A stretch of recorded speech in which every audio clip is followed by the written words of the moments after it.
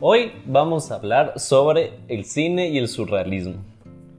Preguntarnos un poco qué es lo que necesita el cine como medio audiovisual para, para recrear los sueños, ¿no? Bueno, entonces podemos partir con que los cineastas tienen un montón de herramientas variadas para, para contar historias, como pueden ser diferentes tipos de cámaras, diferentes tipos de luces, diferentes tipos de lentes, sonidos, música, montaje, un montón de cosas, ¿no? Pero hay algunos que han usado estas herramientas físicas de otra manera, como de una manera un poco diferente, ¿no? Y esta variación en el uso de las herramientas nos hace preguntarnos si es que las películas pueden llegar a ser sueño o qué relación tienen las películas con los sueños, ¿no? Y a la final, esta es una experiencia a la final un poco onírica, ¿no? El surrealismo como tal es un movimiento artístico que inicia André Breton en 1924, con un escrito, un manifiesto que lo usa para definirlo básicamente. Acá habla un poco sobre cómo la autocensura, impuesta principalmente por la sociedad, limita la capacidad de creación de, del individuo como artista. Habla de que una persona debe dejar todas estas ataduras y dejar que la imaginación fluya sin límites, ¿no? Entonces, eso es como resumen del surrealismo. ¿Quién fue el primero que lo llevó al cine? Pues Luis Buñuel, creo. O sea, de lo que entiendo fue él. Eh, y lo hizo a través de un cortometraje que se llama Un perro andaluz, un sin andoulois, andoulois, no sé francés. Y en este corto hizo muchas cosas que ahora nos parecen un poco más normales e intenta transgredir un poco estos esquemas narrativos de la época e intenta provocar un impacto moral en el espectador a través de imágenes bastante fuertes. Usar el, el recurso del delirio y del sueño un montón de veces dentro de este corto. Lo que propone el surrealismo como movimiento, el artista está restringido por la sociedad y solo puede liberarse a través de esta carga irracional, ligado mucho a la locura o al sueño. Entonces acá quería hablar un poco del tema del montaje. Al igual que en los sueños, una escena dentro de una película inicia en medio de la acción. No tienes como un inicio y un final como tal de una escena, no es como que ves al personaje levantarse de, la cama y hacer todas sus cosas hasta que llega la escena que realmente quieres contar, a menos que de eso se trate los cortometrajes universitarios.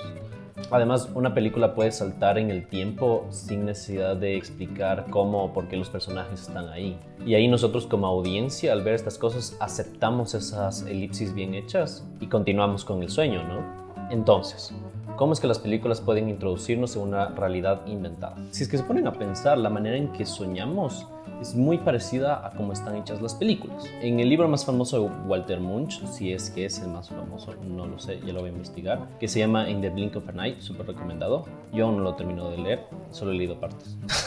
Básicamente, mi pana Walter dice que nosotros aceptamos los cortes porque se asemejan mucho a la manera y que las imágenes son yuxtapuestas en nuestros sueños. Y en la oscuridad del teatro nos decimos en efecto que esto parece real, pero puede no serlo porque es visualmente descontinuo. Y por esto debe ser un sueño. Esto quiere decir que las películas afectan a un nivel subconsciente, al igual que los sueños, y que podemos llegar a creer cualquier cosa onírica que se nos presente. Una técnica muy común del cine es manipular la orientación espacial de los objetos para crear efectos dramáticos, ¿no? O manipular las expectativas de la audiencia, así no tengan ninguna lógica. Y todo esto era para hablar de Mulholland Drive. Yo no soy muy fan de Lynch, pero creo que Mulholland Drive es una película que expresa muy bien estos puntos que estoy tratando.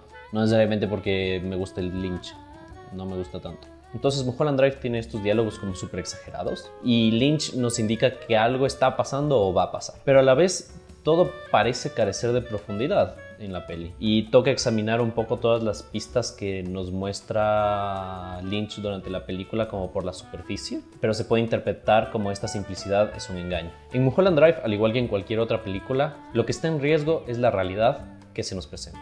Y aquí entra una meta del cine, que es hacerte creer esa realidad. Lynch nos crea expectativas y luego nos hace pensar lo contrario, dejando como este amargo vacío dentro de nosotros.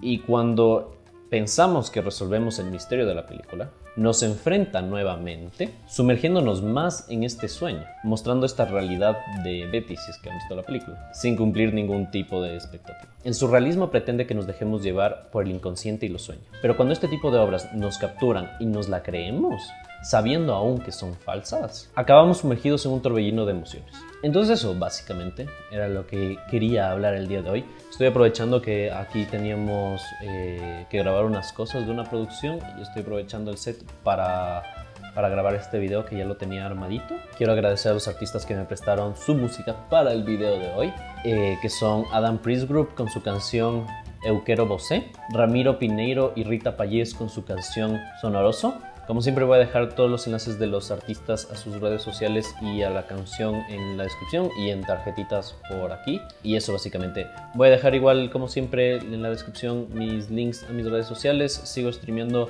casi todas las semanas en Twitch. Esperemos que cuando este video salga aún siga streameando y no me haya cansado. Y eso básicamente. Muchas gracias por ver el video de hoy. Compártanlo si lo ven interesante y si no pues comenten por qué no. Y ya. Y eso es todo. Gracias.